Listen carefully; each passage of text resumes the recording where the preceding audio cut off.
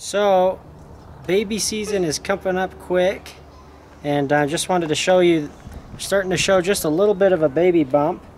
You see that little bump? Mink don't typically get big and huge. I mean, some females do, but a lot of times they don't get big and huge because in nature, they've still got to go down holes. So they need to keep a bit of a slender figure in order to hunt in wild. But some of the females get a little bit of a bump there and you can see that they're starting to show. So we're hoping for a good sized litter and I'm pretty excited about it. But here's the interesting thing about mink is you never know exactly when they'll have their babies. With most mammals like dogs or horses, you could just count the days from when they were last bred. But with mink, they have what's called delayed implantation. With most mammals, as soon as the egg is fertilized, it travels from the ovaries down to the fallopian tubes to the uterus, where it attaches and begins to absorb nutrients from the mother. The nutrients it gets from its mother allows the embryo to continue to grow and develop. But mink have delayed implantation. So instead of attaching to the uterus wall right away like most mammals do, there is a delay where the egg stays suspended in the embryonic fluid and doesn't develop further until the mother's body decides its time is just right. How the time is determined is based on the hours of daylight the mother is exposed to.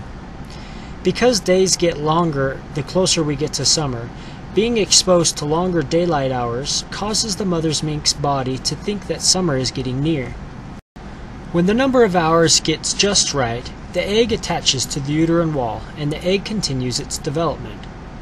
It only takes about 5 weeks for a mink embryo to develop, but thanks to delayed implantation, it may take anywhere from 6 weeks to 10 weeks for the baby mink to actually be born. So two doe mink can be bred on the exact same day, and yet have their litters an entire month apart. Mink farmers sometimes use artificial light to get the doe mink to all have their babies at the same time. They simply leave lights on in the mink sheds for two hours after the sun goes down. This makes the mother mink's body think that the day is two hours longer than it really is.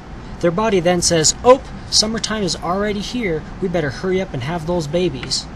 So all the little embryos attach themselves to the uterine wall and begin to develop with only a short delay, rather than delaying their development for several weeks like what would normally happen. I also put lights on my mink this year, so that means that sometime between the 18th of April and maybe the 1st of May, we should start having some babies. Man, I just can't wait to have those cute little baby mink.